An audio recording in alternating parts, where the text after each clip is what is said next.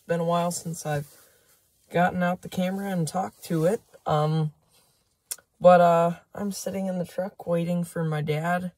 We're about to go ice fishing here and uh, going to a very large lake here. And uh, it's got a little bit of everything in it. It's got some really big northerns.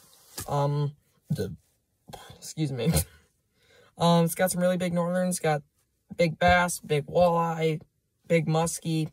Great lake. Obviously, we're not going to be targeting muskies, but, you know, is always a possibility we could catch one. And obviously, if we do, we're going to handle it with care and put it back as quickly as possible. But, uh, hope you guys stay tuned and, uh, um, enjoy the video here.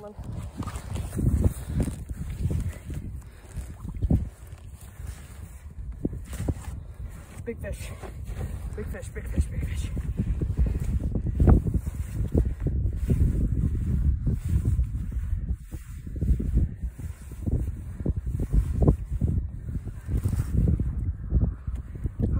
Not that big. Whoa. Well, that's not bad.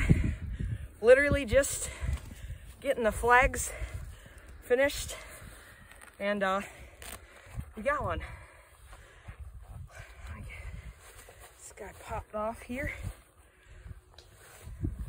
All right, I guess we're gonna keep this well, one. we can edit it out, I suppose. I don't really care. Okay.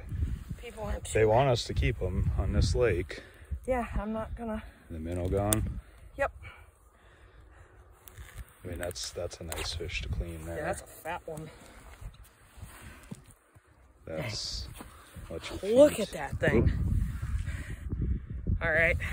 Say something about. I mean, you'll edit this out, me talking, right? Say something about like we literally got done. And Yeah, we literally just got done setting these flags up.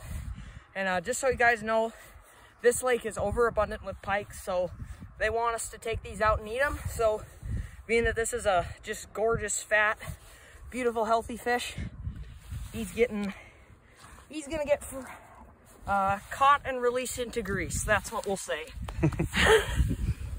All right.